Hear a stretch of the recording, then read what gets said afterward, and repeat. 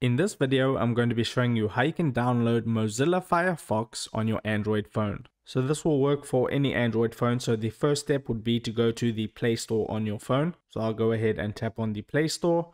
And then in the search bar of the Play Store, you just want to type Mozilla Firefox an auto suggestion should pop up and you can just tap on that. And then you can see it says Firefox. You can go ahead and tap on it from there. Now I have it installed on my phone already so it says open. But if you haven't downloaded it before it's going to say install or download and then you can just press that. It'll be in green. And then you just have to wait for the download to finish. And then once you have downloaded the Mozilla Fox browser for your Android phone you can go ahead and tap on open and then you can start using the Mozilla Firefox browser and then you can go to Google or at whatever site you want to and search for anything that you would like if you prefer using the Mozilla Firefox browser instead of things like Google Chrome. So that's pretty much it, straightforward and simple. If this video helped you out, make sure to hit the like button and don't forget to subscribe for more Android tutorials. Take care.